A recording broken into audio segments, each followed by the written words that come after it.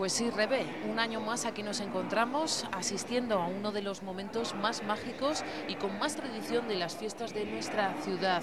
Más de 300 cofrades desfilan por todo el centro de Vitoria, demostrando así su devoción hacia nuestra patrona, la Virgen Blanca.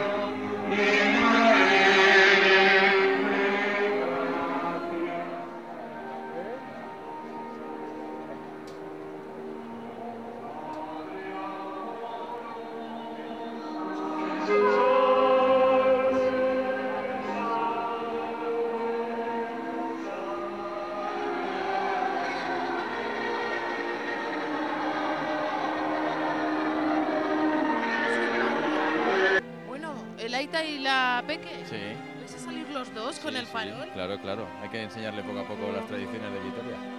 esta, esta tradición siempre se pasa muchas veces, ¿no? De generación a generación. Sí, me la pasó mi suegro, que antes lo sacaba él, ahora lo llevo yo y, y ahora se lo intento poco a poco también enseñarle lo que es. Paula, esto pesa mucho, ¿no? Sí, Sí, pero te va a ayudar el Aita. sí.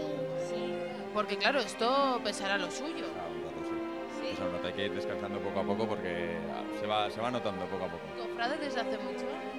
Yo llevo ocho años. Sí. ¿Esto cómo surge? ¿Por qué salir en una procesión de los faroles? No sé, es tradición, es Vitoria y creo que no hay nada más tradicional en Vitoria en unas fiestas de la Blanca que sacar el farol. O sea que para mí es un, un honor, todo un honor. ¿Qué farol es el que llevas? Es un, bueno, es el, el Agnus de Gatapunte. Nada, que lo lleves con orgullo, ¿eh? A ver, Paula, a ver, ¿cómo lo levantas? A ver, a ver. Ramón. Yo Miguel. ¿Qué es lo que vais a llevar aquí? La salve. La salve. Pero esta lleva ruedas, ¿no? Sí, sí. O sea, que jugáis con ventaja vosotros. Bueno, ventaja tampoco. Hay que empujar lo suyo también. La cuesta es la más complicada. más cuesta, sí. Tenemos ayudantes este año.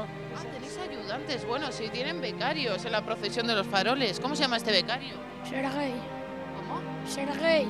Oye, tú tampoco te fíes mucho de estos, ¿eh? Que yo creo que se van a aprovechar que como eres... todos. Ah, sí. A ver, a ver, ¿qué músculo? A ver, a ver. Sí, sí, la verdad estás fuerte, ¿eh, amigo? O sea, que contáis con ayuda y todo. Hombre, aquí con los chavalines siempre. Con el primo. Pero el primo, oye, primo de Zumosol, que dicen que, que a los jóvenes les cuesta esto de unirse a la procesión de los faroles. Veo que vosotros ya, por lo menos, ¿no? Seguís con la tradición. La tradición, sí, sí. Desde ya llevamos empujando ya 6, 7 años ya llevamos. O sea, desde que éramos, desde su edad. Cuando a su padre. Muy bien. ¿Y os gusta salir a la procesión? Bueno, gustar sí. Bueno, es, es un compromiso familiar. Compromiso familiar, ¿cómo es eso? eh? Somos todos primos, pues que desde años lo tienen la familia, así que venimos para no perder la tradición. O sea, que se lleva en la familia, vamos. Con- Llevar, no sé. Empezaron unos y seguimos nosotros.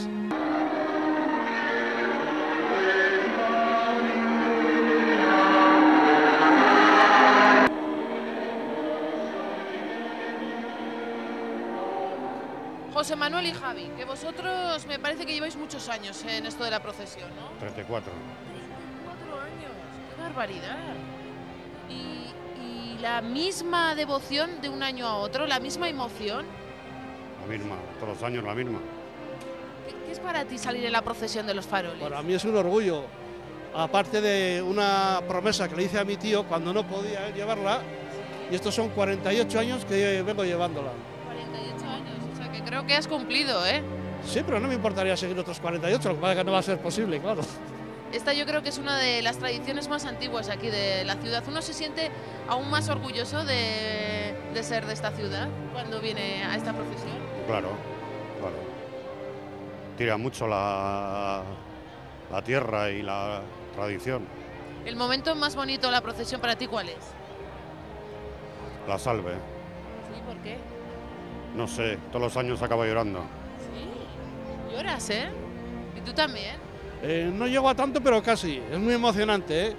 Que está aquí toda la gente, no sé, no te estén mirando a ti, pero vamos, ver toda la gente el fervor que tiene, no sé, es una cosa que cala, cala bastante.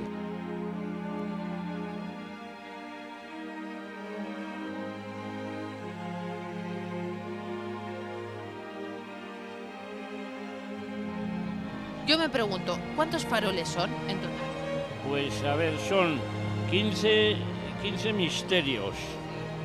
a 10 faroles cada misterio, más las Ave Marías y eso, son unos 14 o así, 14 por 15, ahora- y luego esto es toda la letanía. Pues No te puedo decir ahora, teníamos un, yo tendré un papel por ahí que... Más o menos unos 300. de ahí pa- Seguro. Sí, sí, sí, sí, de ahí para arriba, de ahí para arriba. ¿Y la letanía qué es lo que significa?